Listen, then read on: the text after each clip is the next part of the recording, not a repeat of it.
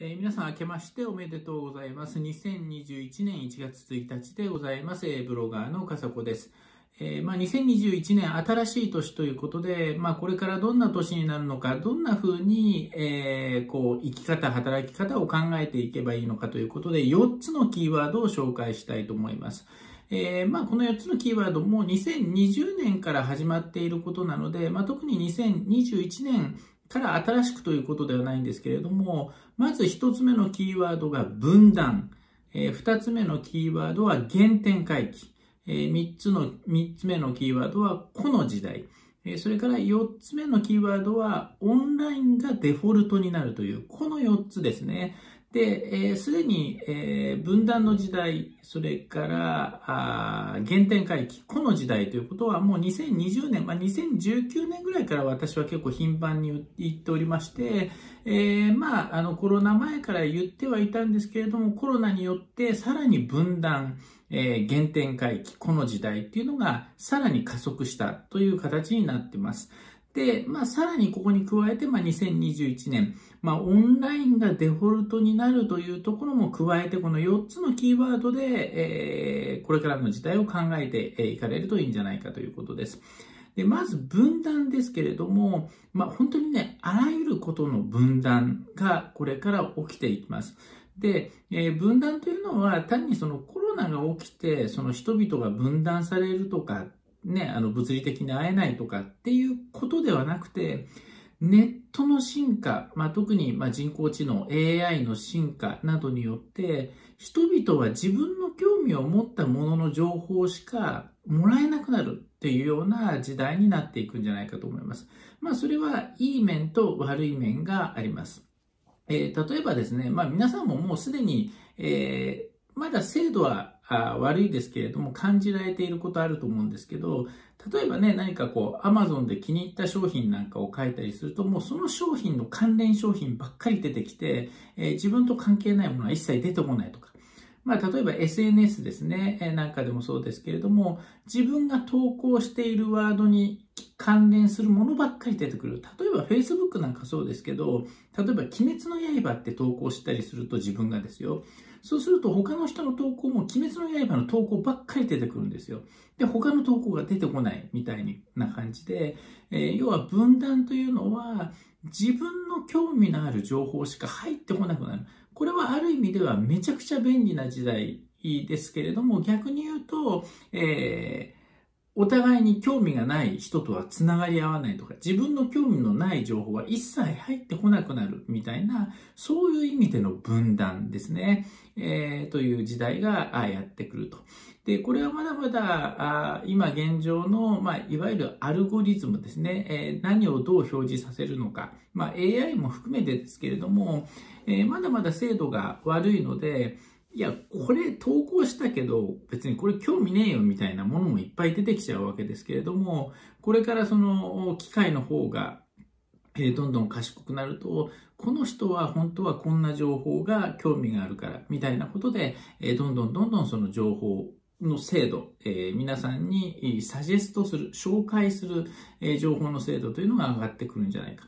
え、例えば、今現状ですと、例えばあ、Yahoo ニュース、Yahoo を開いてトップニュースというのは、みんな同じニュースになってると思うんですね。それってまだ共通項がある、分断されてない時代だと思うんですけれども、これ Google のニュースなんかはもうすでになっているかもしれませんけれども、自分の興味のあるトップニュースしか出てこなくなるような時代がやってきます。つまり、みんな Yahoo のトップページを見ても、そこに出てくる主要な5つのニュースみたいなものが人によって違うみたいなことになっていくと、もう共通言語として成り立たなくなるわけですね。今日こんなニュースが話題になってたよねって言っても、いや、僕のとこには表示されてないよみたいなことになって、まあ、これが分断の時代ということです。まあ、この分断の時代を生き抜くにはということなんですけれども、逆に言うと、興味のある情報を発信すれば発信するほど、興味のある人は集まってくるので、自分の好きなこととかを発信する、自分の興味のあることを発信する、自分の仕事の関連のことを発信すれば、そういう人たちが集まってくるというメリットはあります。ただ逆に言うと、同じ情報ばっかり集まってきてしまって、どんどんどんどん狭い世界になりがちというところもあるので、どこかで、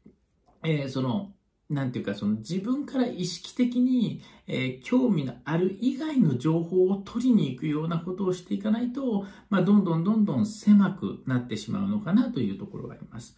あとは分断という意味では、やっぱり国際情勢が非常に大きなあウェイトを占めておりまして、えー、まあ、ここ2、3年ぐらいですかね、アメリカと中国中国がバチバチの覇権争いをやってます。まあ、これに伴って、まあ、分断が起きる可能性があるんですけれども、まあ、結構ですね、まあ、2020年に、えー、この中国とアメリカのこの力関係と、この勢力争いみたいなのが結構変わったんですよね。まあ、つまり、コロナの震源地であった中国っていう、その悪者としての中国みたいなこともあれば、逆に言うと、震源地とされたにもかかわらず、いち早く、ね、その、ある程度の収束をさせて、えー、もう中国だけ今ね、経済なんかも一人勝ちみたいな状況になっているというところ。それから、あとアメリカ大統領選で、まあ、あの中国に真っ向から対決をしていたトランプ大統領が、えバイデンになってしまうと、これ結構、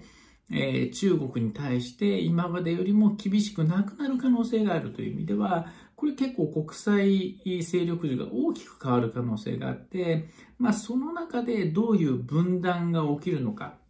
えー、ね、あの、アメリカと中国の対立みたいな軸で進んでいくのか、それとも、まあ中国がね、覇権、えー、をこう強めていって、そこにこうね、こういろんな国がくっついていくのか。まあその辺、まあ非常に難しいところでありますけれども、まあ何にしろですね、まあ各国その、えー、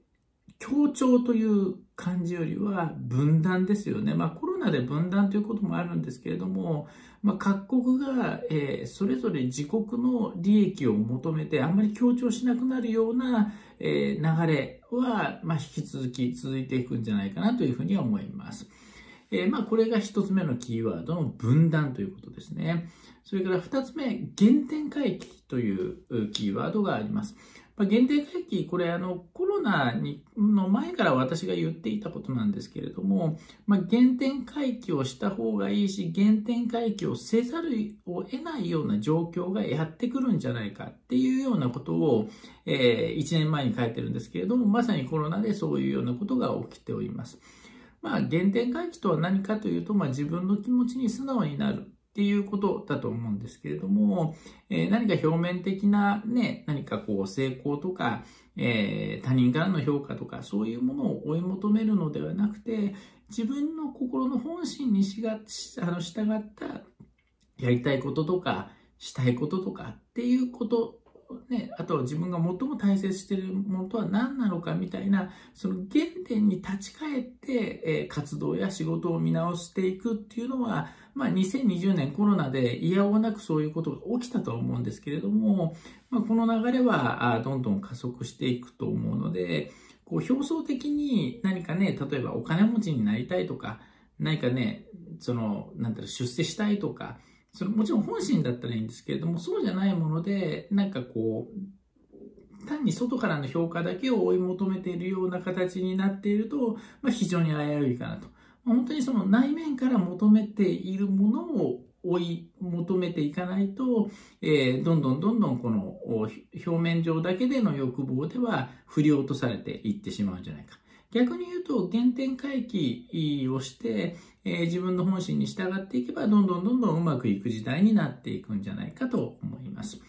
えー、それから3つ目のキーワードは、この時代ということですね。えー、この時代、個人の時代、えー、個人の時代という意味では、まあ、その先生術の風の時代なんかでもね、組織からこの時代っていうようなこと言われてますけれども、まあ、この時代、えーまあ、何が起きるのかというと、まあ確かにその組織ではなくて個人が主体となります。で、これ、えー、まああの、これもコロナによって加速した。まあ、コロナがなくてもそういうようなことは起きていたと思うんですけれども、例えば会社、ね、正社員をいっぱい雇って、えー、組織で動いていくみたいなことから、まあコロナでね、実際に動きがあったんですけど、正社員に雇わなくてもいいんじゃない？だって在宅勤務で仕事頼むんだったら、えー、別に仕事の案件ごとにできる人に頼んで、でその仕事終わったらまた引き上げて、で、仕事が発生したら頼めばいいじゃんってなると、もう完全にその会社員、会社という組織じゃなくて、まあ、会社という非常にミニマムな、あの、最小限の組織があって、えー、もう社員はほとんどいらなくて、ほとんど外注になる。まあ、個人のフリーランス、独立起業した、えー、まあ、会社員がだから事業、個人事業主になって、えー、まあ、個人としての仕事を受けるような、まあ、そういうような流れが、えー、実際に起きておりますけれども、まあ、そういうこの時代というのが、どんどんどんどん進んでいくんじゃないか。それからまあ、単にその会社とか働き方という意味ではだけではなくて、やっぱりね、その、つながりの形態というのが、いわゆる団体集団主義というのはもう終わり、終わりに近いというか、機能しなくなってるんじゃないかなと思ってまして、えー、一時期もてはやされたコミュニティ論とか、オンラインサロン、とか、まあ、あとは地域コミュニティみたいなものもそうなんですけれども、なんていうかその、コミュニティやサロンっていうのが、いい面もあれば、悪い面もやっぱり出てきてしまうんですね。まあ、地域のつながりなんか非常にわかりやすい例ですけれども、なんていうかその地域のね、その付き合いって、いい面よりも逆に、本当は、ね、お互い助け合ういいつながりであったはずが、だんだんだんだんとこのしがらみになっていって、なんか意味のない習慣とかルールができていて、逆に相互監視になって、なんかみんな不満。だけどみんなね、こう警戒してるから誰も好きなようにできないみたいな風になっていくみたいな、まあだからその強いつながりっていうのが、えー、機能不全に陥ってしまって、それだったらもうそんなね、地域のつながりなんていらなくて、お互いここでね、助け合うんだったらね、こことここが助け合えばいいみたいな、もっとさっぱりした関係にならないとまずいんじゃないかなということです。それからコミュニティとかオンラインサロンという意味では、やっぱりそういう組織とかコミュニティとかサロンを作れば、どうしても例えばヒエラルキーですね、ピラミッド的な組織ができてしまったりとか、あとは、えー、まあ仮にその中が、メンバーがフラットだとしても、やっぱりその一つのカリスマ、ね、リーダーがカリスマみたいになって、そこに、まあ信者みたいに、えー、もう無批判で全てをこう、ね、信じてしまうみたいな宗教化みたいなのが起きてしまって、結局そうすると、なんかその本来のコミュニティってもっとこう、個々人が活躍できるはずが、結局硬直した組織というかね、あの、まあ、宗教的な組織。まあ、宗教的というとちょっとあの、誤解があるかもしれませんけれども、要はまあ、信仰宗教的なというか、えー、ね、もうトップの言うことをみんな聞く、ね、あの、もう無批判で称賛するだけの、えー、ものになってしまうと、本当の意味のあるコミュニティやサロンではなくなってしまうんじゃないかなという意味で、えー、ますますこの事態、まあ、とにかく1対1の付き合い、どこのね、サロンだからとか、どこのコミュニティだからとか、地域が一緒だからとかね、じゃなくて、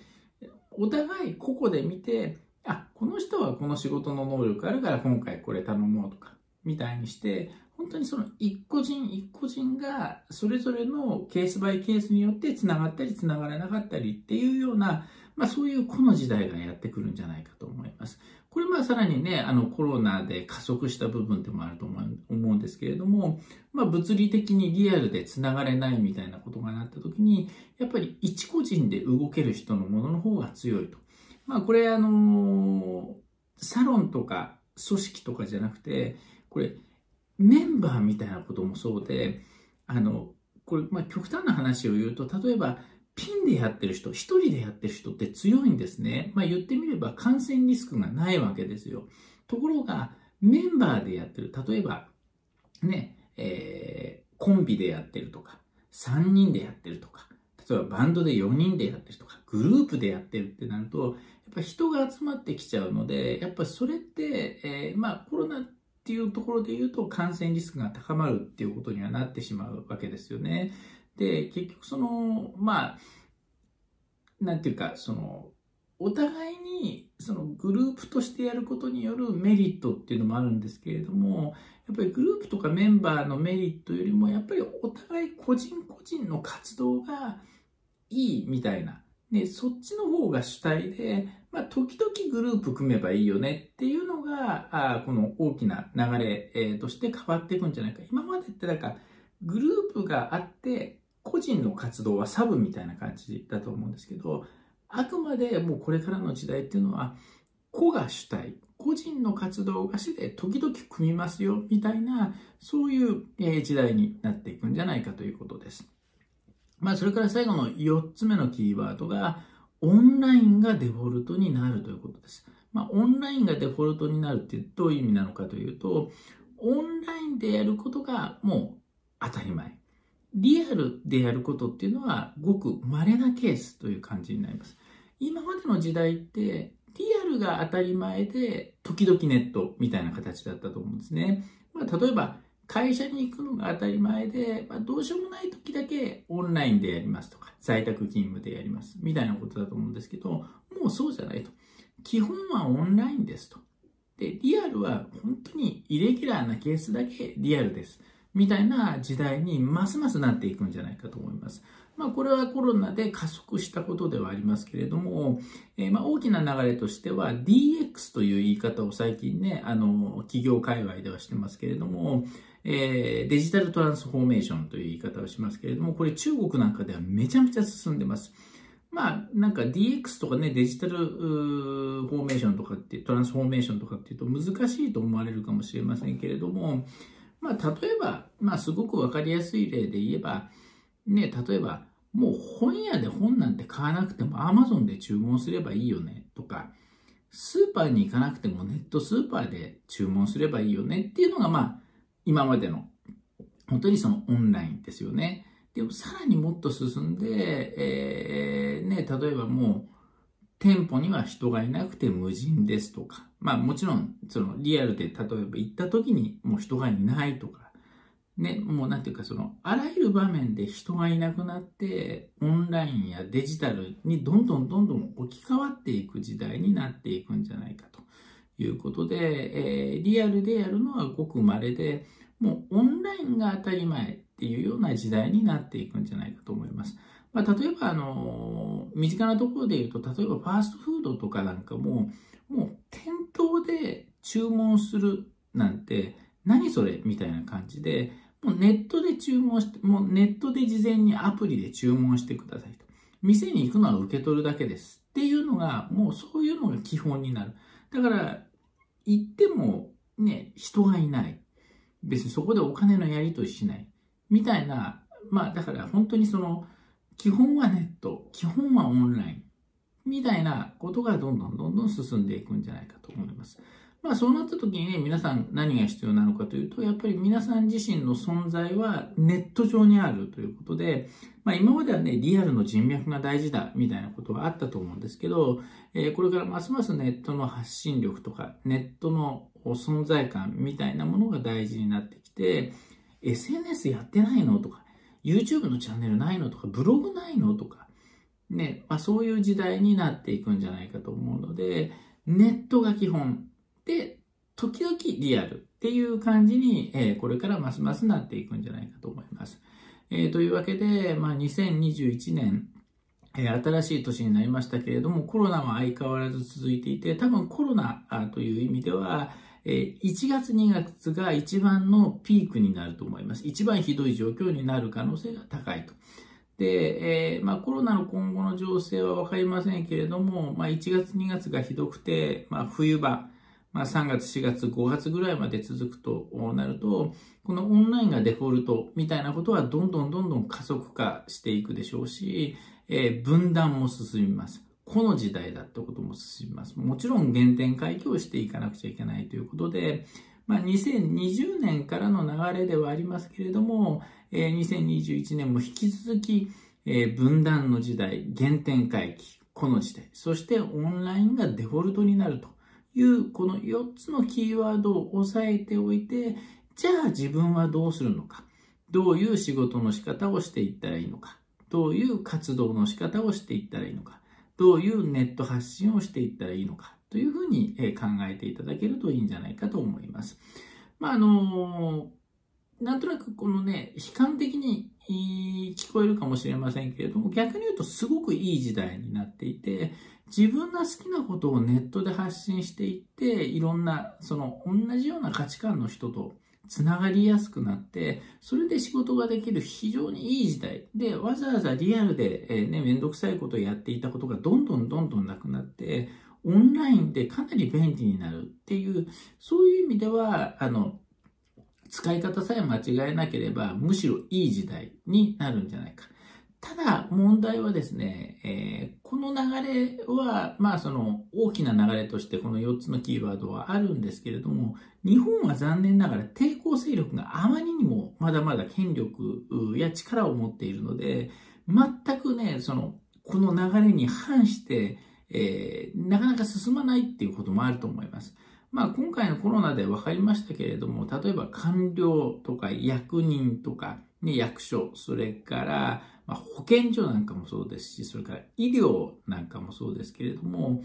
えー、完全に、えー、デジタルから遅れているところが弱いところをつつかれちゃってるわけですよね。まあ、医療っていうのはもちろんね、対面でやらなくちゃいけない部分があるんでしょうけれども、だけれどもその、オンライン診察とかやっておいて、ある程度そこで、なんていうかその、患者のね、えー、重要度、えー、重症度みたいなのを分けてやって、うまくこう資源配分ができれば、こんなに混乱することはなかったと思うんですけれども、やっぱりその、未だにアナログでやってる。ね、未だに問診票とか紙で書かせたりとか、えー、ね、カルテも紙で書いてるとか、全くデジタル化が、まあ、あまり進んでない。で、しかも相互間の情報連携がない。で、まあ、下手すると、そのね、コロナに関して言うと、例えば病院から保健所に、その、ファックスで送ってるみたいなことを未だにやってるわけです。ファックスと電話とか。もう、そういう意味では、あの、本来であれば、もうこれどんどんデジタル化、オンライン化して、えー、情報共有化して、えー、誰もがね、こうデジタルの利便、あの、便利、あの、利便性を享受すれば、えー、いろんな問題が解決するはずなんですけれども、日本は未だに、えー、遅れてます。まあ、なので、えー、世界の流れ、え、大きな流れとしては、え、オンラインがデフォルトになっていくというところは進んでいくんですけれども、日本はかなり遅れる可能性があります。え、なので、えー、皆さん自身が開花して、えー、もうこれからはね、オンラインがデフォルトの時代だって言っても、まだ周りで抵抗している勢力がいたりとか、ね、やっぱりその、いやなんか、ちょっと使えないんで、みたいな。リアルでちょっと来てくれませんかみたいなのがやっぱり出てきちゃうと思うので、その辺は日本のこういうの事象として、えー、考えておくべき点かなと思います。まあ、いずれにせよですね、まあ、2021年も引き続きコロナという問題がある中で、ただコロナは本当にきっかけにしか過ぎなくて、コロナがなくても今の4つのキーワードというのは間違いなく進んでいった。ただコロナによって余計加速化したということで、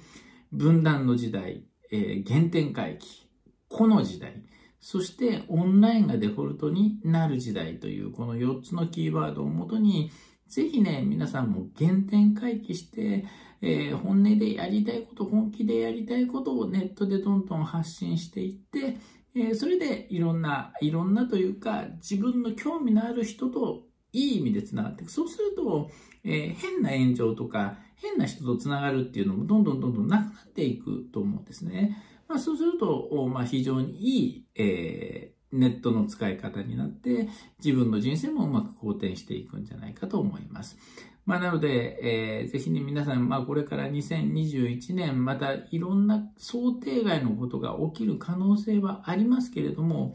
大きな流れとしてこの4つというのは、あ多分大きくは変わらないと思います。まあその日本は遅れてるけれども、だけど遅れているからといって、じゃあ元に戻るかって言ったらもう元には戻らないと思うんですね。やっぱりリアルがいいよなっていうふうにはならないので、やっぱりオンラインがどんどんどんどん侵食していく。デジタルがどんどんどんどん侵食していく時代にはなると思うので、